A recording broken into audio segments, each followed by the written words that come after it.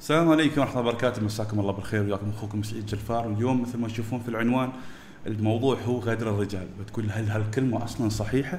بقول لك تابع معي إلى آخر الفيديو بتعرف هل هالكلمة صحيحة أو شو قصدي منها بالأحرى. خلينا نحط مثال جدا بسيط قيسوا عليه أنتم الأشياء الأكبر عشان تعرفون شو معنى غدر.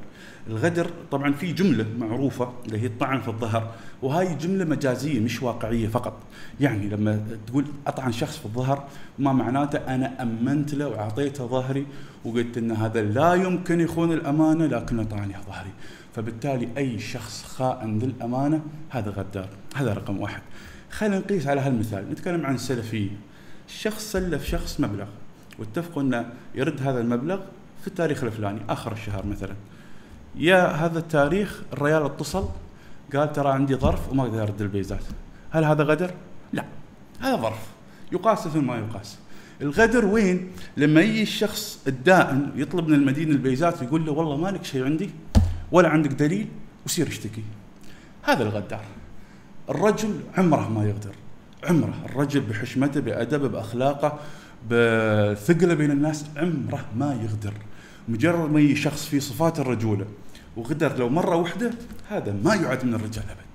مهما كان ما يعد من الرجال ولا يجالس ولا يصاحب ولا أي شخص يعطيه وجه من الأساس.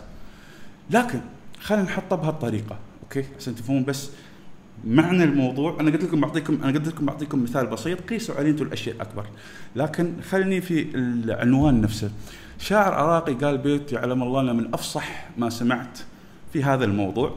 حد لدرجة ان كان ودي الشعر أو البيت هذا يكون مني أنا ولكن الشاعر العراقي قال طبعا قبل ما أقوله في كلمة قد بعض الناس يضايجون منها لكن أنا أقصد المعنى والله مش قصدي سب ولا شيء من هالقبيل فيقول لك أمشي مثل الشمس أبد ما أخاف.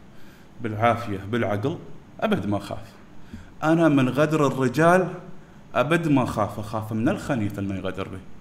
فالرجل عمره ما يغدر مجرد ما رجل يغدر يتحول كلمة تالية. السلام عليكم.